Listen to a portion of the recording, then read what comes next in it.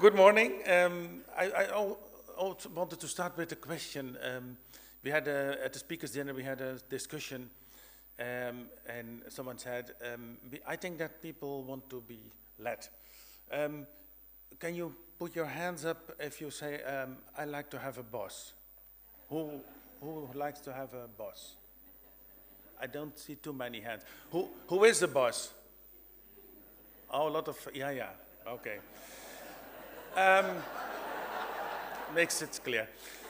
So, uh, I want to tell you about my story. Um, I had the problems uh, since my primary primary school with my teachers. Uh, I had some authority problems. So I think that's one of the main reasons that I started this organization. Um, and I think you can develop yourself the, the best possible way when you are freed from all kind of uh, structures and people who are telling you what to do. So you should find out yourself what you think is important, and that should be leading in your life, like in your private life. Um, this uh, presentation, I called it um, Humanity Above Bureaucracy uh, by Integrating Simplification in the Teal Organization. Um, uh, so some of you have read the book of Frederic Laloux and the Teal Organization. I didn't know, uh, I didn't hear from it before, but we are a Teal organization, as I know now. And we are integrating simplification. So we try to make things simple where a lot of people want to make the world very complex. And we say if we make it simple, then it's very easy to, for people to take responsibility. Um, I started in, in, a new organization in 2006, at the end of 2006, together with some friends. So I've been an, a district nurse for, for um, 15 years, worked as a nurse. And after that, I became manager, director in two big home care organizations in Holland. And it was amazing to see that um, the idea of the organization was that it became more and more professional, but the quality of the service went down and down every year. So, uh, and I was one of the 16 directors, and I said, we're a bit too many of us, and we're just bothering the nurses to do their work. But they didn't agree. So then I had to leave and start something for myself. Uh, we started with four nurses um, and we started, we, we, called it buurtzorg because it means neighborhood nursing. Uh, and I, my idea was we should focus on the networks in the neighborhood. And that's the, the way I worked myself in the 80s as a district nurse. Um, we just started delivering community healthcare again as we thought it would be the best possible way. And we started to work together with GPs, with volunteers, with uh, occupational therapists, social workers, and so on. At the moment, we have um, 9,700 nurses working all over the country in 850 independent teams. Um, so these, these teams are self-organized. I will tell more about it later. Uh, we have 45 staff at the back office. We don't have a management structure, so we don't have managers, and it's all self-organized. Uh, we only have 15 coaches. Uh, they can be uh, supportive to the teams when the teams need it. So, and when you have a manager, they're always there, also when you don't need it. And then it can be a big burden. Um, at the moment, we are taking care for 70,000 patients a year, uh, all kind of patients. Patients who are terminally ill, patients with chronic diseases, and so on. Um, one of the results of the Dutch policy on home care, and I also see it within the uh, NHS in England. I've, I've, for four years, I've been in England a lot, uh, and I talked with a lot of people within the NHS, and I'm um, curious what one of the coming speakers will tell me about what's happening within the NHS. But what we saw in Holland is that based on the ideas of making uh, healthcare a business led to a lot of uh, fragmentation. So we were delivering activities instead of creating solutions, and that's a very big difference. And it led to a lot of fragmentation, lists with showers and lists with taking care for wounds and so on. Um, but, and, and every nurse had to register it by the minute. So the quality went down and the cost went up because we were doing a lot of things which were, was not really necessary. And we created sometimes more problems than we solved. So that was what I saw. Um, and what you saw also that the education level was going down uh, throughout the years because uh, giving many hours, spending many hours against low cost was very profitable for the organization. Um, by working this way, the prognosis were that we would have big capacity problems. Uh, we all have an aging society, so for the coming 10, 20, 30 years, we have to think about how can we have enough workforce to do all the work. The clients, very important, they had to face with a lot of different caregivers, sometimes 40, 50 per month, different people. And imagine that one of your relatives is, has dementia, and every time again you have to explain how it works, what's important for you. You can't build trustful relationships with so many people. When you have more than seven people dealing with your, with your family, then you lose control uh, on your life. So then you are controlled by the others who are coming at your house, and I think you shouldn't want this. And then at, uh, the, the, way we were monitoring the results led to not any information about the outcomes. So we had we, knew, we know how many hours care we are spending all over the country, but we don't know if it, it's helping anybody. So we spend billions of euros, pounds, euros, and we don't know if people are helped in the best possible way. So we started this organization in 2007. Um, the idea was just create small teams in the neighborhood, uh, nurses who are choosing their own colleagues and organizing everything themselves. And from the start, from the first moment we had this first team, we got nurses all over the country who were phoning, mailing, uh, contacting with us and said, would you come and tell you, us what, what you're doing there in the east of Holland? Um, so I was evening, at, by evening I was at, at, at living rooms of people, nurses, talking about our profession, what's important for nursing. And, and at the end of the evening, they said, when can we start? Because I think this is what we also want. So every time, uh, every evening again, there was in one part of the country, there started just a small revolution, and these nurses were just organizing themselves, and within two months, usually they were running, and they were cost effective. So the risk was very low. They have their, they build their networks and what they were doing was much better than what they did before in the organization they worked before. So they're doing everything themselves. They talk about how to divide the roles in the team and they um, build their networks based on informal relationships. This is what, what our vision is, that we should support independence. We should focus on the community and we should create healthy communities by working with volunteers, with the families, with uh, formal caregivers, from an, an, an perspective of uh, empowering the people. And that's much more inspiring to do. So if, if you do that every day as a, as a, as a nurse, then your day is like, uh, every day it's like an, an adventure. So every day you meet people who you, you learn from. Um, you can decide yourself on how to deal with everything you, you meet. And a lot of patients feel empowered by the way we are working. And you use the resources of the community. So there are a lot of resources in the community which are not used. So the pressure on the formal care gets bigger and bigger. And we should share it, uh, the formal care with the informal caregivers. That's, uh, and this is, for most nurses, this is very logic. So we're now working in 35 countries. And when I explain this to doctors and nurses, they say, yes, that's what we should want to do. Um, it's all based on self-organization. The idea is just, let's just trust the nurses. You don't need to control them. Um, I don't know any nurse who start a day and say, okay, today I'm going to uh, trouble my patients or tease them or hit them or whatever. Um, so when you trust people, uh, they will take a responsible uh, responsibility. They will feel accountable for what they're doing. Um, so that's what we try to show that it would work very uh, preventive if you work this way. What we did to avoid all the complexity of the system, because like in England and a lot of countries, we built very bureaucratic uh, um, systems with a lot of regulations and administration. We built our own IT company. So um, we at, at the moment, we, I think we built around 10 companies.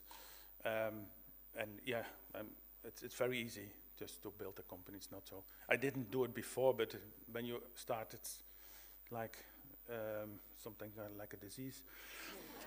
it's, yeah. Uh, yesterday I was on Dutch television, we started a health insurer. So to threaten the older health insurers to behave otherwise. Um, yes, it's working already. Um, it, it's, but we try to reduce the complexity, so it's all uh, dealt with in the IT system, so the nurse can just do what they think they should do. Uh, they spend 10 minutes a day for the administration, and that's it. Um, as I said, um, there's a maximum of 12 nurses because you don't have bigger tables. So they have their own office, and they, in the office, they, they talk about their patients and uh, taking care for all the things what's needed. 70% uh, are registered nurses, and in the average home care organization in Holland, it's uh, just 10% are bachelor, uh, registered nurses. They are responsible for their own education budget. They decide themselves on what they want to be educated in and what's needed. And we say informal networks are much more important than formal structures. So we don't make any contracts with anybody. So we say just do what you think it's needed and create your networks which is needed to create good solutions. The, the teams are supported by uh, training, it's called the solution inter interaction method, solution-driven interaction method. Uh, we say focus on the solutions. Don't spend too much time on the, on the problems and analyzing the problems and who's guilty of the problems and so on, because that's not solving it. So try to focus on how can we, in a simple way, solve the problems. And then you get these kind of teams, very happy. Uh, then you get these kind of patients. This is, um, this is already 105 now. Yes, yes. She won't like to die. yeah in, in, uh, in Rot Rotterdam, she's living. Um, so yes, we have a very active uh, discussion in Holland about euthanasia, but it's not part of the discussion in Rotterdam. Um, we have uh, different types of patients. So the idea was uh, when you are dealing with problems in the community, it would be nice that you can deal with every kind of problem. So that's the reason that we say then you need high-skilled nurses. And these nurses have a very big variety on in their daily practice. So they, uh, as I said, they learn every day by the things they're doing, and a lot of things we are learning in, in healthcare is based on tacit knowledge. So you can't write it down in protocols and regulations, and you shouldn't do it. But you have to talk about it. You have to talk about it with each other, and then you can share your knowledge and experience. And when it's about quality, we had a lot of questions when we started, how do you monitor quality? But that at the moment we are also not monitoring quality, we're just saying that if you have a quality system, then it's something like, like an assurance that you deliver quality. What we said is we are going to monitor the outcome. We want to show what the result is of what we are doing. So, that so that's, uh, we're doing that with the Omaha system. It uh, takes too long to explain that, but uh, it's a system which uh, monitors um, problems, interventions, and outcome.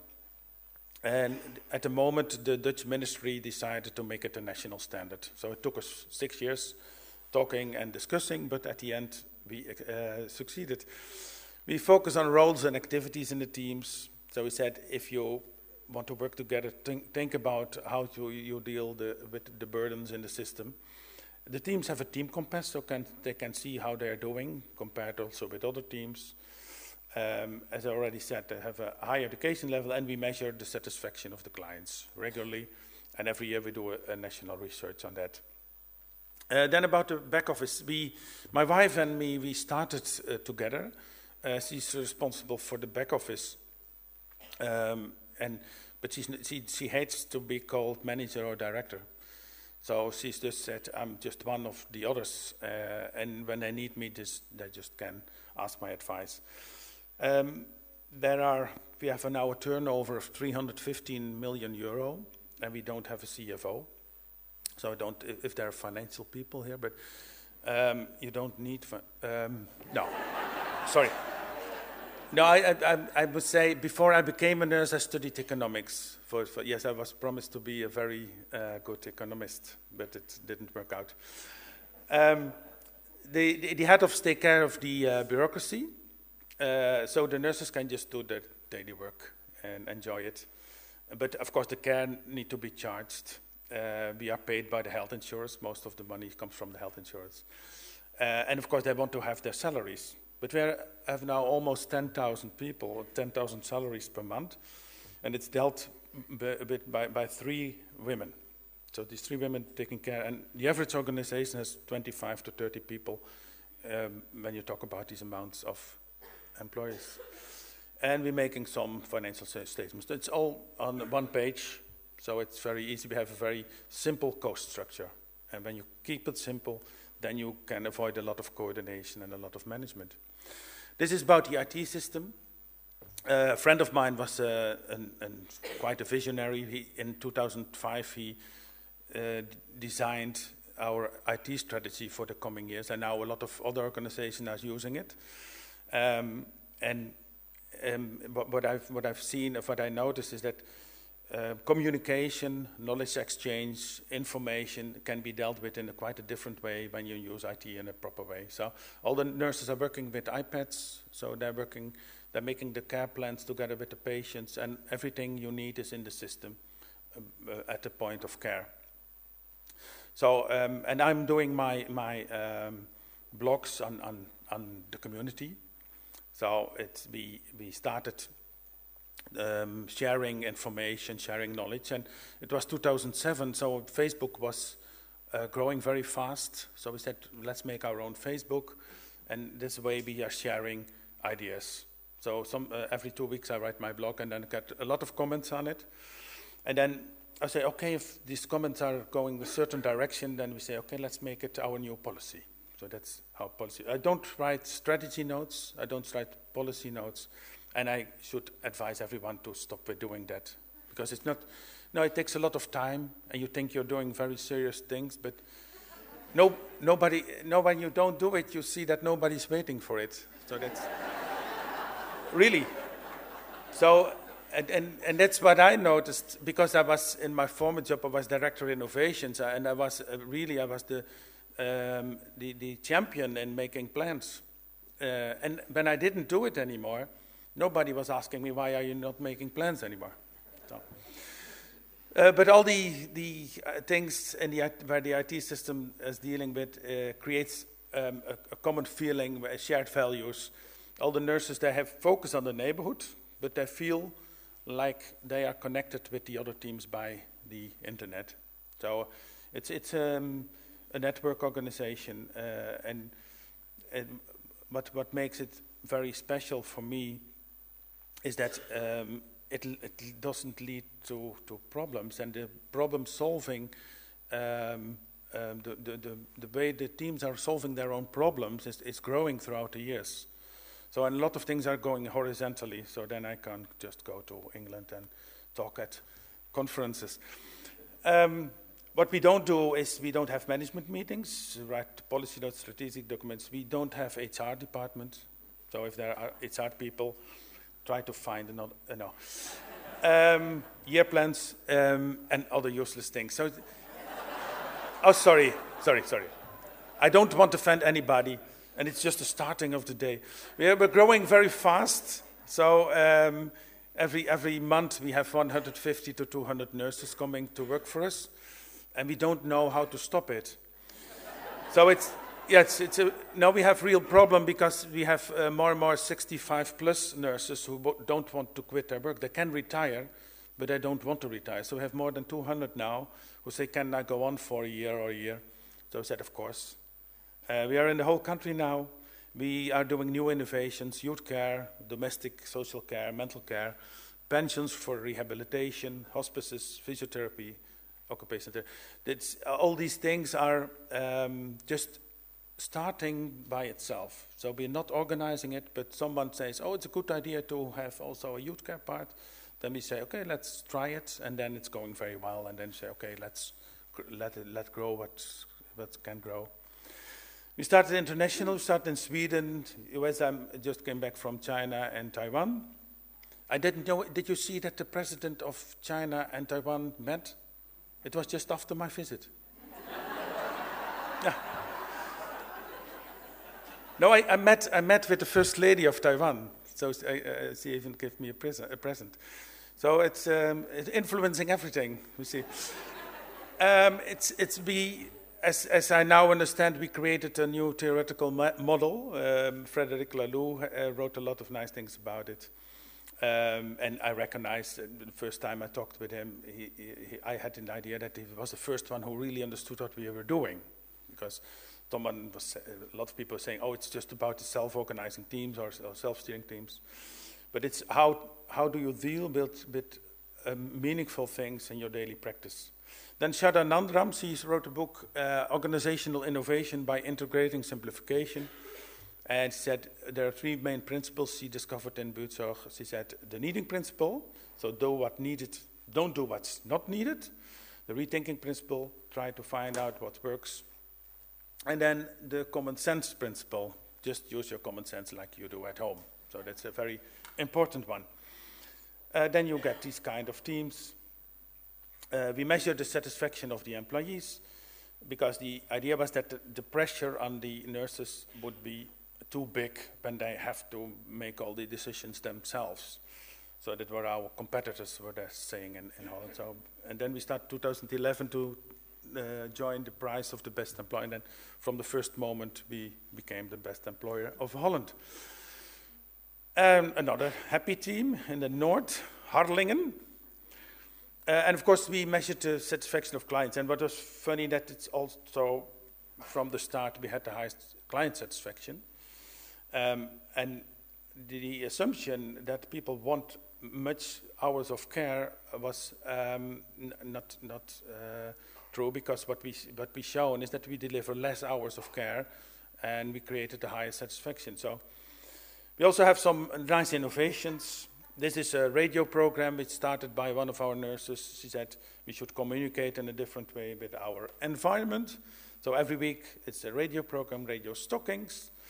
And this is, um, I will show you a few sec seconds of um, what one of the other nurses uh, started. It's called the Walker Race. And I don't know if it's coming, but no?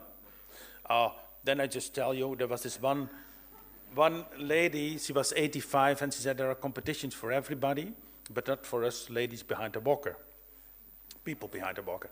So this nurse said, oh, let's start just this um, competition. And she did it 2010 for the first time in Amsterdam. And last September, there was a national competition in the Olympic Stadium. it was, it was called the Olympiade, so there were hundreds of people coming all over the country with the walkers and had they got a medal for 400 meters or 800 meters. Or, yes, it was amazing to see, and it's just by focusing on what people can do. Um, now we go back to the slides. I'm almost done, so I have four seconds for the last. but I, I had one minute later because of the. Okay. Um, now, as, as, I said, um, we measured the outcome, the, the results of it. Uh, there was a KPMG report and two Ernst and Young reports. And at the moment, the governing is, uh, our government is supporting everything what we are doing. So they say this should be a role model for the rest of the country. I was with the Minister of Health in China, and he was telling the Chinese mayors of Shanghai that it became one of his most important pillars of his current policy. So I was quite proud, and now China wants to also, and it's quite a big country. um, so, uh, and it, more and more we see that other industries also want to use the principles, uh, and um, I'm, I'm, traveling over, all over the world, um, one side on healthcare and the other side on how to organize. So this is it, and this is what I want to achieve. My youngest son is becoming a nurse. He's 22, and I think we should leave the world in a much more friendly way than we uh, started it 10 or 20 years ago. And we need to attract young people in healthcare so they can have an attractive, attractive job. So this was what I wanted to share with you today, and I hope you have a wonderful day.